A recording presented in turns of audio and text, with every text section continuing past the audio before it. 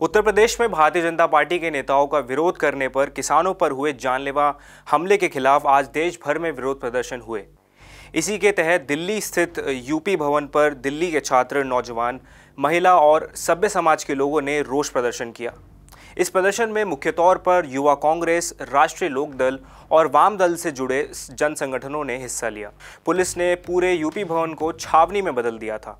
उसके बाद भी अलग अलग संगठन जत्थों में यूपी भवन तक पहुँचने में कामयाब रहे, लेकिन पुलिस ने सभी प्रदर्शनकारियों को बसों में भर लिया और उन्हें अलग अलग थानों में ले गए। ये प्रदर्शनकारी यूपी हमले के सभी आरोपियों की गिरफ्तारी और पीड़ितों के मुआवजे की मांग कर रहे थे। उन्होंने यूपी और केंद्र की बीजेपी सरकार के खिलाफ नारेबाजी की और इस पूरे हमले के लिए बीजेपी की सरकार और उनके मंत्रियों को दोषी बताया।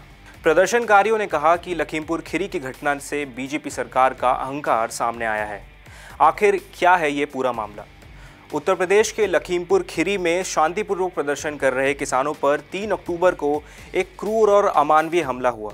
किसानों का आरोप है कि भाजपा के केंद्रीय गृह राज्य मंत्री अजय मिश्रा टेनी, उनके बेटे, उनके चाचा और अन्य गुंडों से जुड़े वाहनों का एक काफिला कई प्रदर्शनकारियों को कुचल गया। बताया जा रहा है कि केंद्रीय गृह राज्य मंत्री अजय मिश्रा टेनी के बेटे आशीष मिश्रा ने एक किसान को गोली मारकर उसकी हत्या कर दी। इस घटना में चार किसानों की मौत हो गई है और करीब दस अन्य गंभीर रूप से घायल हो गए हैं।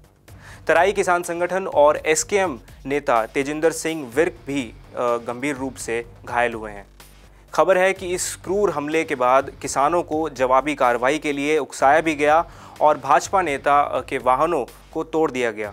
मीडिया रिपोर्ट्स के मुताबिक इसमें चार किसानों के अलावा एक पत्रकार रमन कश्यप और अजय मिश्रा के ड्राइवर समेत कुल तीन बीजेपी कार्यकर्ताओं की मौत की पुष्टि हुई है। वहीं दूसरी ओर विपक्ष भी सरकार की आलोचना कर रहा है।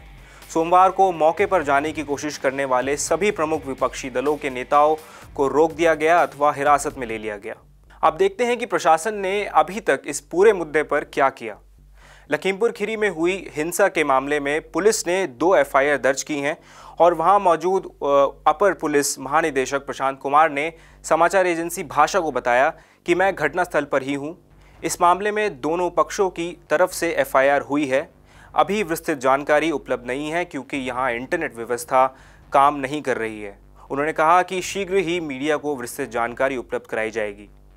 किसान नेताओं का कहना है कि किसानों के सत्याग्रह को बर्बरतापूर्ण कुचला गया है। यह कोई तरीका नहीं है और यह लोकतंत्र की हत्या के अलावा और कुछ नहीं है। आज दिन भर की गर्मा गर्मी के बाद आखिरकार किसानों की मांग के आगे सरकार झुकी और दोनों पक्षों में समझौता हुआ, जिसमें धारा 302 और 120 बी के तहत मंत्री और उनके बेटे के ऊपर एफआईआर दर्ज हुई। मृत किसानों को 45 लाख मुआवजा और सरकारी नौकरी और जख्मी किसानों को 10 लाख का मुआवजा देने का आश्वासन दिया गया है। साथ ही पूरी घटना की हाईकोर्ट के जज से जाँच कराने की बात भी कही गई है। न्यूज़ क्लिक इस पूरे मसले पर अपनी नज़र बनाए रखेगा। अभी के लिए सिर्फ़ इतना ही, देखते रहिए न्यूज़ क्लिक।